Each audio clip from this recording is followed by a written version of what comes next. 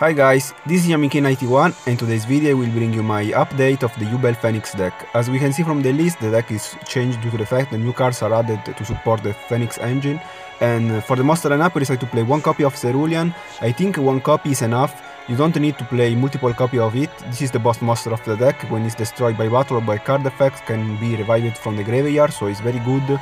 Then uh, one copy of Nightmare and one copy of Terror Incarnate of course together with 3 copy of Yubel. I decided to play uh, 1 and 1 plus 3 because you need to, to start with a Yubel. In fact, thanks to the skill, my name is Yubel. Uh, the, the, the ultimate forms of Yubel can be reshuffled into the deck and uh, added to and help, and uh, help you to add the Yubel in the hand. So it's very good. Uh, then uh, two copy of Nephthys. This card is searchable now thanks to the Disciple, so I think two are enough. You don't need to play multiple copy of it anymore. And then uh, 3 Sphere Kuriboh for protection, of course. 3 Yashka. This is another core card of the deck. This is the best card that help you to destroy your uh, or your Phoenix. Then 3 Disciple.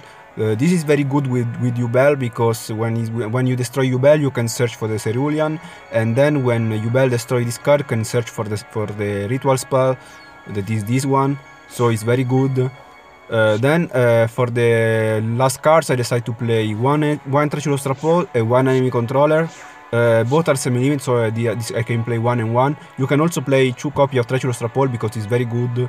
Uh, you want to see that card, especially in certain matchup, so it's very very interesting.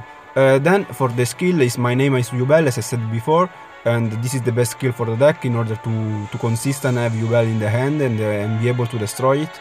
So uh, this is the list. If you have any suggestion, let me know in the comment section below and we will see in the next video.